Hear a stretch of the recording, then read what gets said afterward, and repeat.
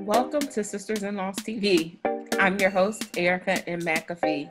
In October is Pregnancy and Infant Loss Awareness Month, a month dedicated to honoring and remembering our babies who have gone to heaven far too soon.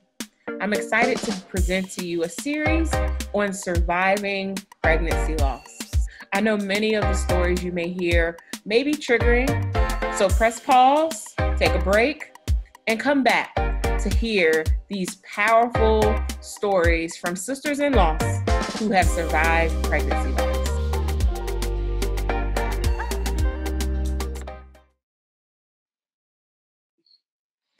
Thank you all for joining us. Welcome to the series Surviving Pregnancy Loss. I'm your host, Erica M. McAfee, and today my special guest is Mai Mai introduce yourself and tell everyone a little bit about yourself and what you do. All right, Erica, thank you so much for this opportunity. I am so sorry, apologies, um, because I actually go by May. I should have oh, said that to you and everybody. This is something that I normally forgot to tell people until it's too late. Uh, my name is May um, Asamoah. I am from Sierra Leone, West Africa. Um, I've been in America for quite a while. I did my high school years here and um, I'm into my mid 30s now. Um, that's how old I am. But anyhow, I am a registered nurse. I've been a nurse for 11 years. I am a mother to two biological children.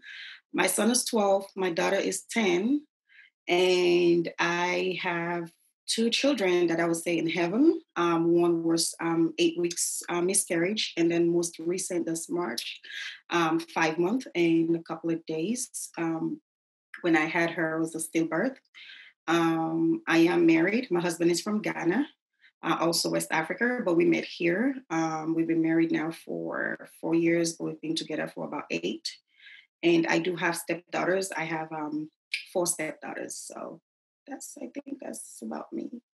Yes, and you, yeah, you should have correct me. You don't, yeah, I always correct people. Yeah, that's what it is. It's okay to say, then then it's in my head like, okay, that's it's Maze. You know what I mean? I'm sorry. No, you always correct people because you want to make sure that they understand how to pronounce your name correctly. And I don't want to mess up anybody's name. So I should apologize to me because I should have asked beforehand too. It's spelled that way. So please don't. I'm sorry. no problem. So take us back on your journey to motherhood and share with us about your losses. So my journey to a mother would have always wanted four children. That has been a joy. So back in 2018, um, I was pregnant, but within a couple of weeks, I was eight weeks pregnant. Before I know it, I lost the child. So that was hard, you know, the miscarriage, and I tried to deal with it. So fast forward to 2020, um, I also found that I was pregnant, um, ending of 2019 and then everything was going good. Baby was perfect um, because i was already um, over 35 so i had to do um, genetic testings. We did everything and everything actually was perfect you know? Um, nothing was wrong. And uh, march march 9th i my son actually was home that day. He wasn't feeling well but i was scheduled for sonogram so I'm like, okay, let's go to sonogram. And after that, we can do grocery and then pick up your sister from school.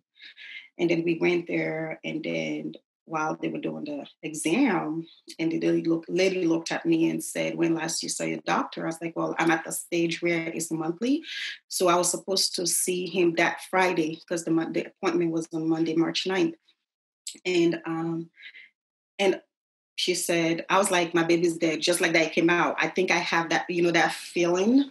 And she looked at me and I'm like, she was she didn't want to say i said i know i just felt it and plus the monitor she couldn't get a heart rate um, no heartbeats no nothing so um, the doctor came in and he confirmed the child was dead just like that like my whole world just collapsed right in front of me you know um, and for me the the um, I didn't expect it. You know, I didn't have any signs.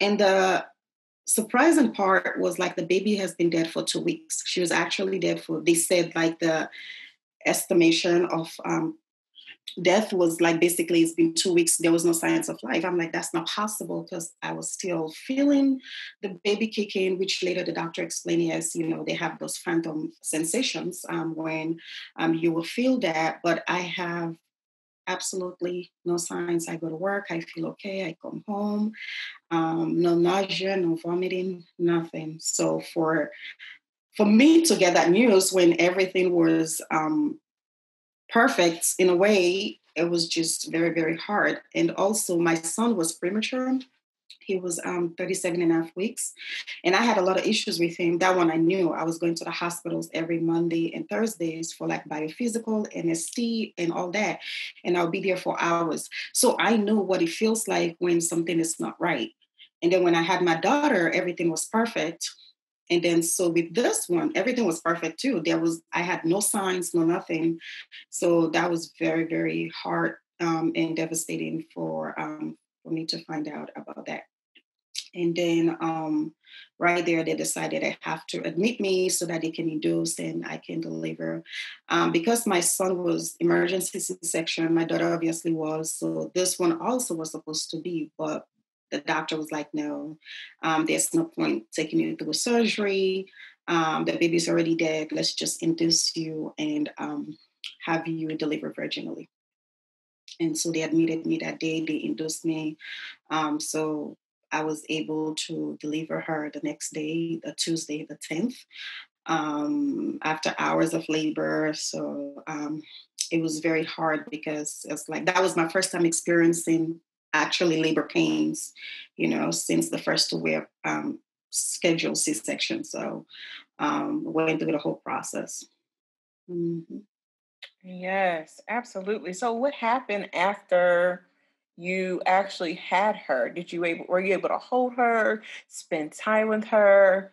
How that process? I did. Once I delivered her, they gave her to me. I held her. Um, it was surprising that my son, who um, is 11 right now, he's be 12 in November, um, he held her too. He held her.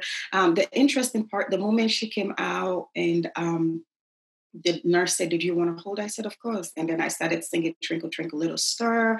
I'm looking at her. I took up to today, those are the images I see um, because you know her eye, she had like her her dad's eyelid, um, you know, fingers, everything, the toes, and I was singing to her, and then of course we took a lot of pictures, um, crying, laughing, you know, and my daughter walked away.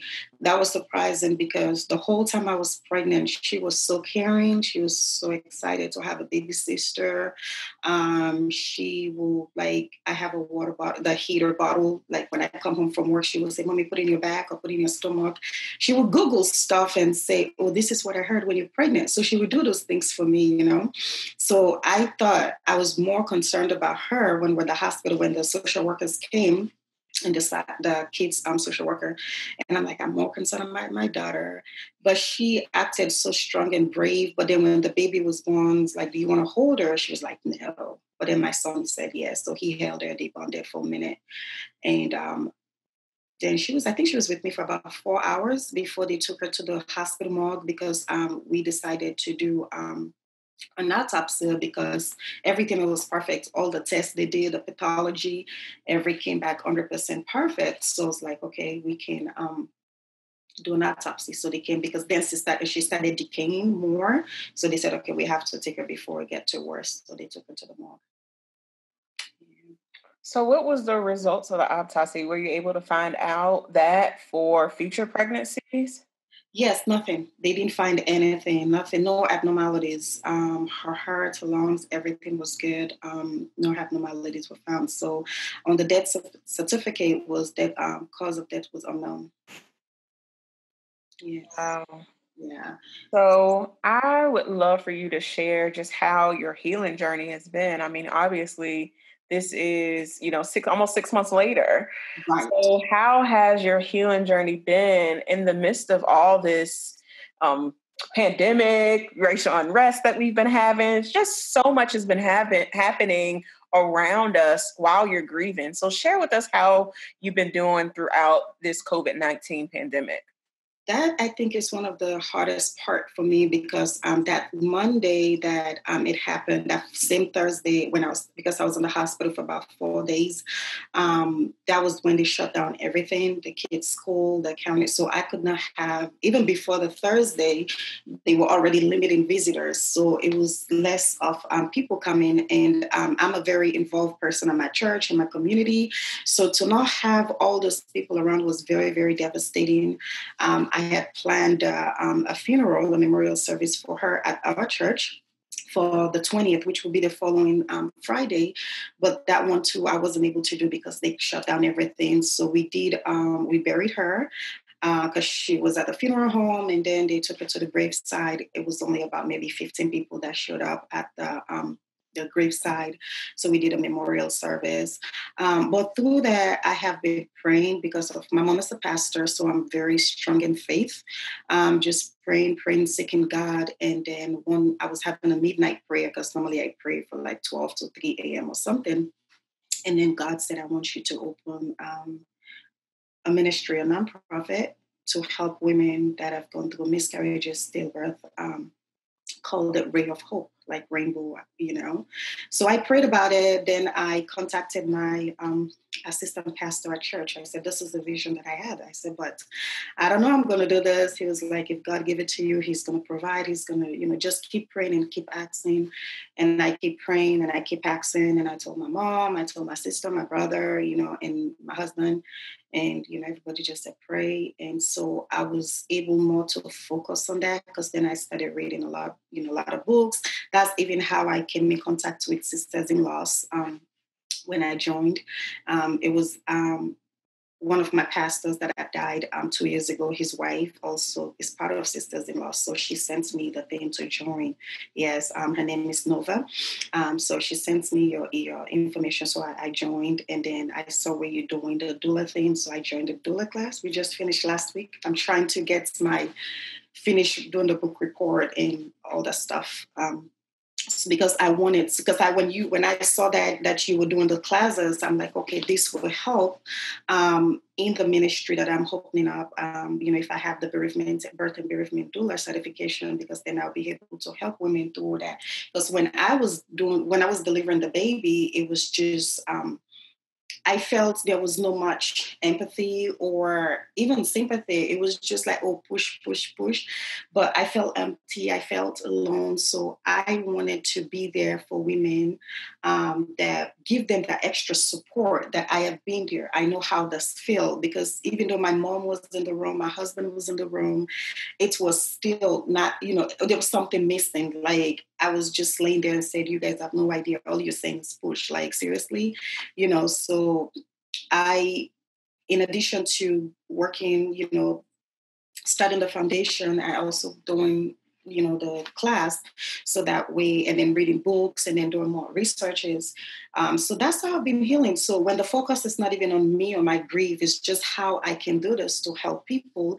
Um, it has been nothing but a blessing. You know, sometimes I even feel guilty, like I don't feel like I am sad or mourning the way I should. I know I missed my daughter. I know I wish she would have been here. I know um, I could have given any, anything for her to be here, but just um, doing this ministry um, that God laid in my heart, um, helping other women, um, brought me so much peace. Um, I collaborated with the hospital that um, I delivered. I'm over Loudoun, but Loudoun, as you know now, living in the area, is all over.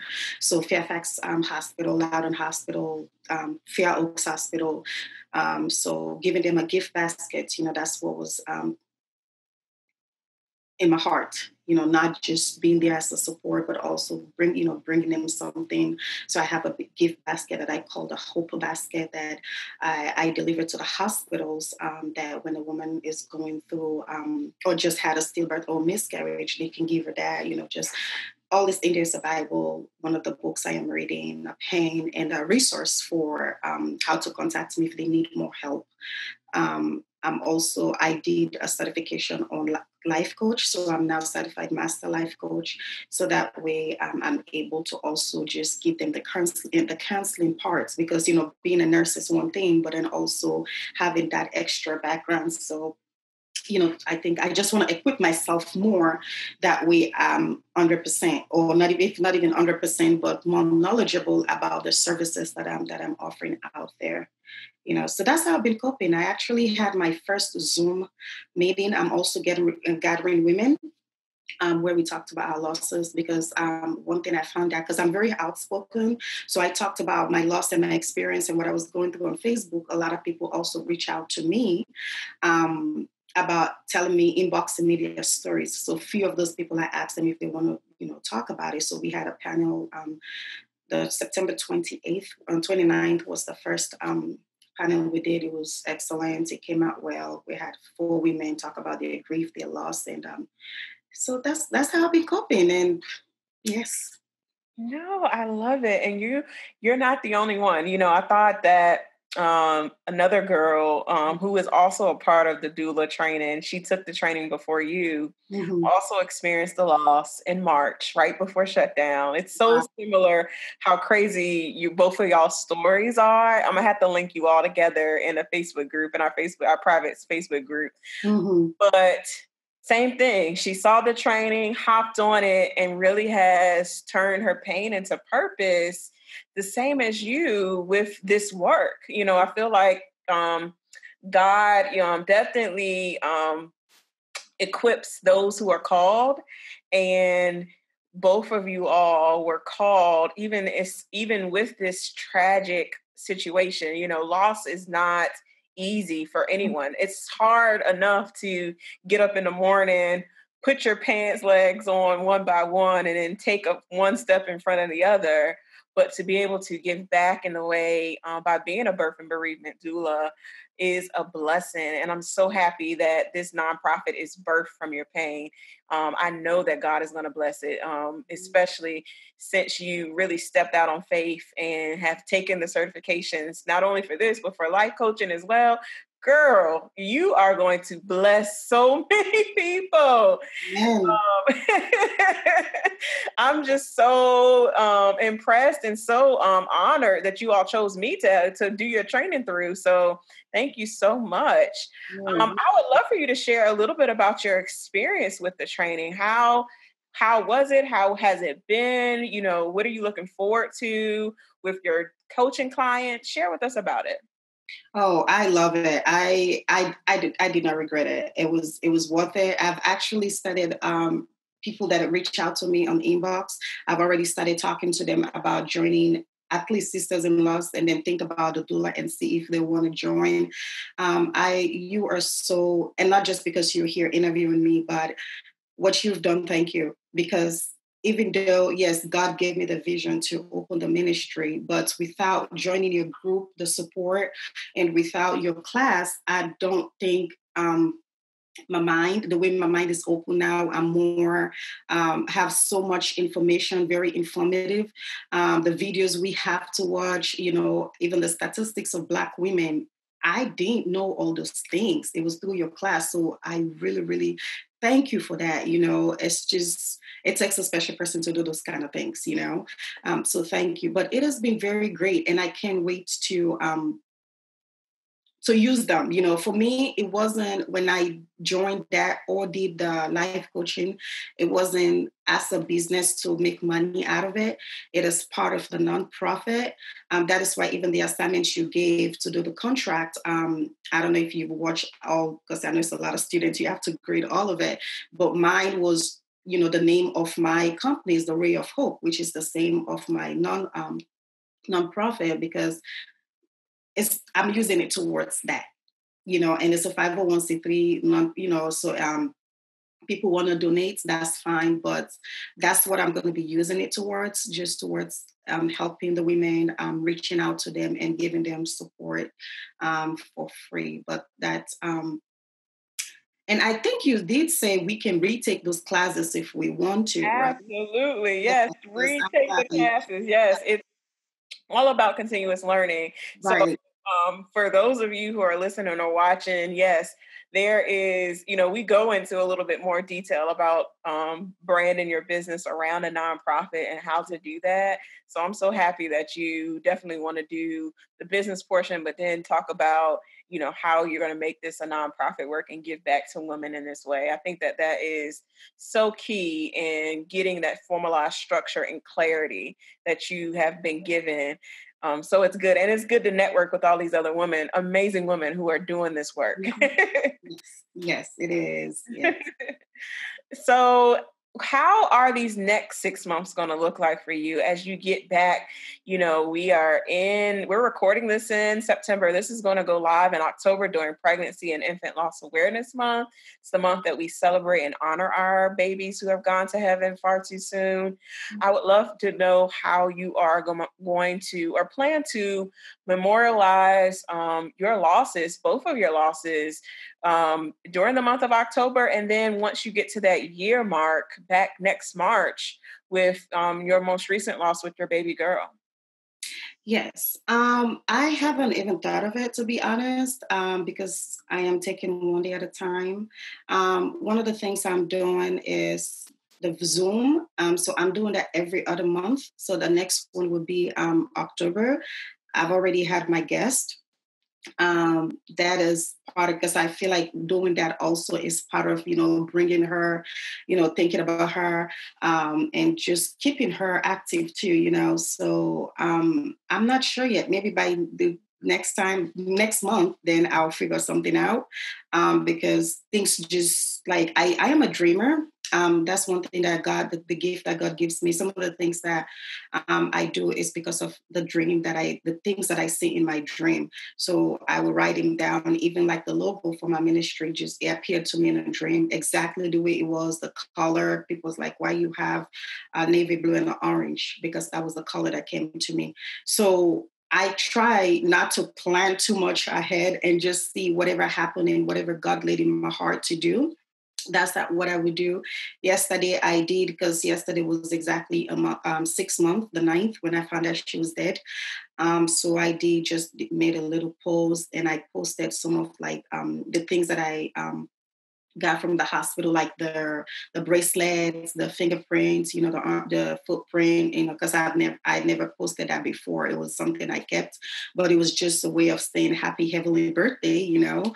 And so, and I at the end of my post, I said this is not this is a celebratory post. Um, so it's I'm celebrating and be happy. You know, some people comments was like, I know you're celebrating so many good things have come out of it, but still it's sad. RIP. I'm like, hey, if you want to say so, it's real. I'm hurting. I'm human.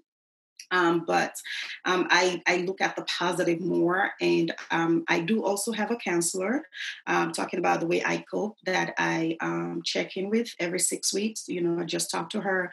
Um, she's a Christian counselor that, you know, we talk based on biblical principles and healthy grieving and healing. So I do that too for my mental check as well. Yeah. Absolutely. And I love that you um, definitely have a counselor that you talk to because we all definitely need to stay in some kind of therapy as we go throughout our grief journey. And I've been in and out of therapy for the last, you know, eight, nine years since I've lost my son. So I understand um, the importance of having a therapist that you trust and that's Christian that can help you through what you're going through. Mm-hmm. So, how are you surviving pregnancy loss? You mentioned it a little bit before, but really, how are you surviving? By just focusing on helping others. I don't dismiss, you know, I'm um, hospice nurse currently for the past two years. I was talking to my um, my chaplain. He called once. He do like a check-in calls. He's like, "How you doing? I see you doing all these things. Are you taking care of yourself?" I said, "Trust me, I am." Um, I do have those days that your tears just you know start rolling down my eyes, and I do cry, and then I pray. But I think um, people ask me how I do it. It's not me. It's God. Um, it's God because I don't know how I do it my heart, I do miss my daughter. I do cry. I do wish she was here. But I don't have any of those negative effects of like the depression, the mental anguish. You know, I think probably with God and with support with loved ones around me. And because I focus so much and praying and praying, I don't really. So I was telling my the guy, I was um, the chaplain from my job. I'm like, I really should I feel bad that I'm not sad that way? He was like, no, he was, but he was like, don't keep it in. I said, I am not keeping it in. I am doing when I tell people I'm doing good, that is because that's the God honest truth. Um, for some reason, um, God graced me with a gift of um, I don't know, like people, I'm strong. Um, and it's not, I don't even know how to express it, you know, but it is not, I don't want to say not bad, not terrible, because I know it's painful, but I will feel like the worst one minute. And I have, God has given me the grace to just pray and sometimes I do take communion. Like if I feel like my heart's that racing, I will take, I have a whole communion at home. I'll give, I'll pray on it and I'll drink it. And that actually works. I have anointing oil. I put in my head, I put in my chest. I say, God, then I also have like sticky notes of scriptures all over my bed in my bathroom is there. So I will look at those scriptures and I will recite them. And that has been excellent for me. Um, not that that works for everybody, but for me, I have seen so much I'm able to function. Even when I return back to work, when I called my boss, I said, I want to come back to work. She said, No, it's too early.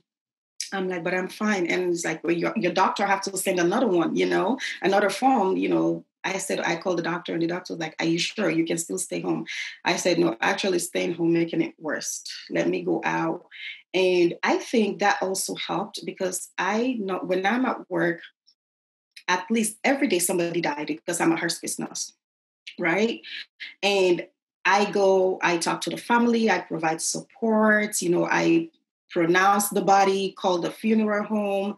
Um, I think that also gives me um, like a little bit of, what do I want to say, um, extra edge of protection because it's something that I do daily and death, I see death every day, like literally every day. There's not a day that a patient didn't die like every day somebody's dying.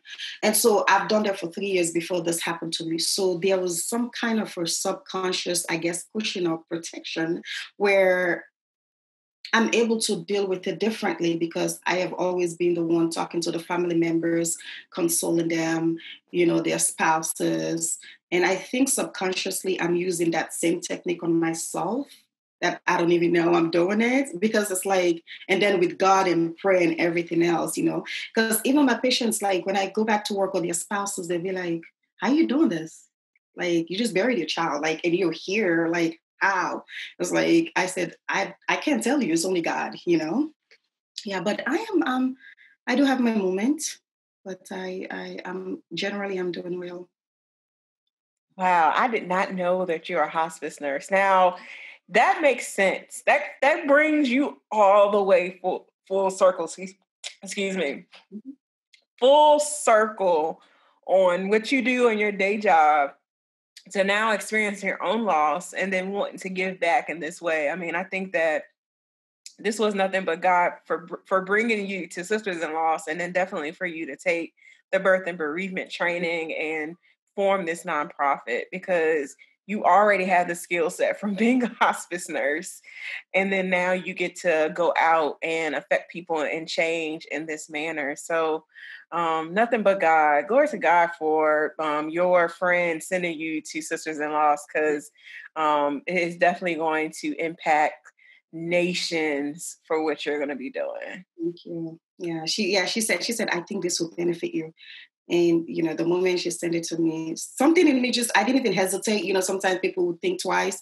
I'm like, then I just, you know, send my stuff and then you approved it. I was like, you know, and everything just boom, boom, boom. And it's like, and you know, it's just amazing. I think God knows what he's doing.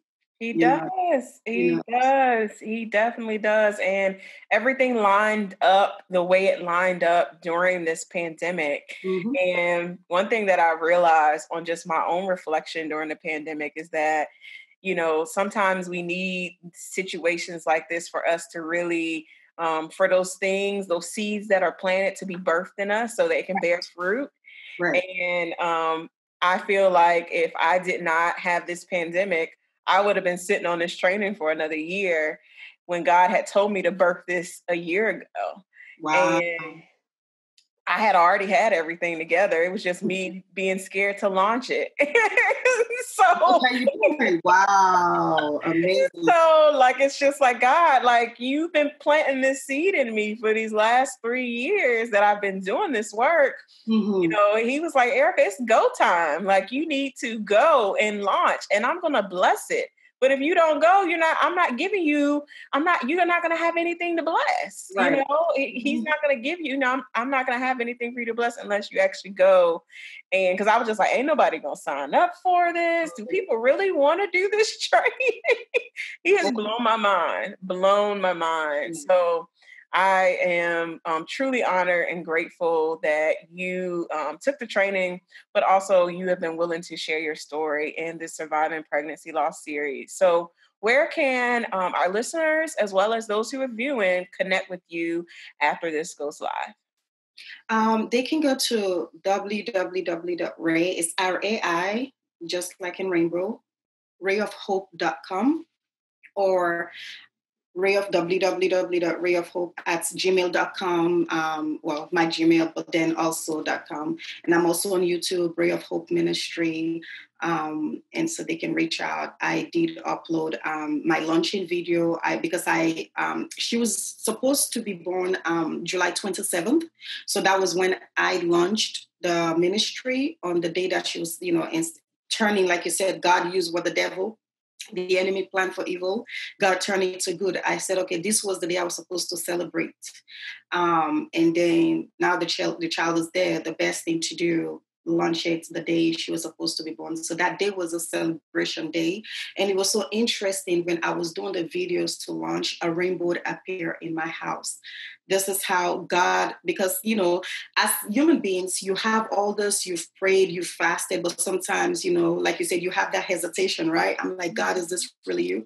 It was my daughter. She said, Mom, there's a rainbow in the house. Like, I had to redo the video because we stopped. I was like bawling, you know, but that was just confirming, you know, like, he made a promise he is there you know what i mean and that was he gave me that name ray of hope i was like so because we were shooting at that moment, so we we captured the rainbow. I sent it to my mom, my sister, my board members. You know, I was like, "Look, this is God confirming it." You know, it was it was awesome.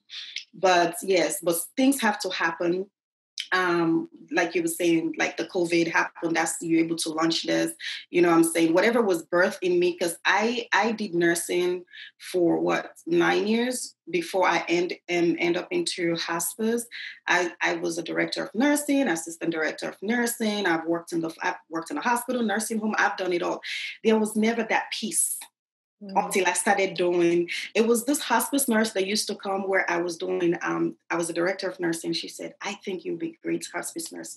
I think you'll be great." You know. And so finally, I said, and then the schedule works for my children. I was like, okay, let me do it. And then I did it, and I'm like.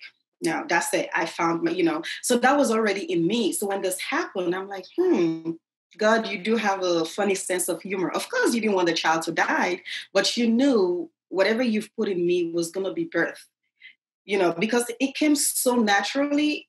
When even my patients or workers and everything my, my co-workers it was like you would think i've been doing hospice for the whole 11 years you know just how natural it came. So this is all and i look back i was like god you're funny you know like seriously but you didn't have to kill my child you know what i mean? But something had to happen you know but yes, so it's ray of hope um, at gmail.com or um, yes, and ray of hope org if you want to um, go to the website and just see more about me and then what the things we're doing and um, because um, i have also connected with the people back home in sierra leone um, i've had three cases right now actually where i've helped them find a doctor because you know africa um, is very hard getting them the help um, the good care um, that they need. So somebody that saw my launching video in Maryland have an orphanage um, that one of the ladies that actually doing the orphanage um, had a stillbirth actually. So she contacted me um, through Facebook and then able to help. And then I had my cousin back, my um, distance cousin back home that we were able to have her come to the city and then seek medical help and then provide some food for her. And she's back to the village and I do call and check on her. And then so the other two ladies um, that, you know, we unfortunately this happened to them. So I'm like, when I got the call from Africa, actually, my first client came from Africa. I was like, oh mm-hmm. my God. It was like I launched on the Sunday, and that Tuesday the call came. I was like, oh my God. Yes. Before I even started donating to the hospital the baskets. So the hospital, all I do is give them the baskets and put my information there if they want to reach out. And I pray they do reach out. If not, at least I still send them something they know somebody cares. And then once I complete all my requirements for the certifications for the doula program, then I will tell them now that I have um, communication with them saying, hey, whenever you have a woman that is about to deliver, I can come there as a free, you know, you tell them, and um, I can be there as a free extra support for them during that time that they have to deliver. And I've already reached out to my OBGYN. He said, yes, bring your brochures. So I went and I brought some of my brochures. Um, so, yeah. Yes, I'm so excited for you. And then obviously we're close and local, so I definitely will connect with you at some point once all this settles down. So definitely. thank you so much, Mai, for um, shining your light on us and sharing your story and your journey with us. It's been a blessing. Thank you so much, Erica, and thank you for the opportunity. And thank you for Sisters in Loss. Thank you for the doula program. Trust me, you are making a difference. You, I have learned so much um, within those six weeks that I things i'm like i'm looking at those videos and i'm crying and i'm like no we have to do something. And thank you for bringing the light to that you know? This has been um, it was it has been a great experience. And even us talking like this you know having women talk about their surviving their pregnancy loss and the different videos that you do and interviews i, I do listen to the podcast um, the ones that you share. Not all of them but some of them. And it's it's awesome that you're doing that. You know you bring in a lot of healing to people and thank you for doing that. I really appreciate it. Welcome. Thank you. You are All welcome. right, we got you down.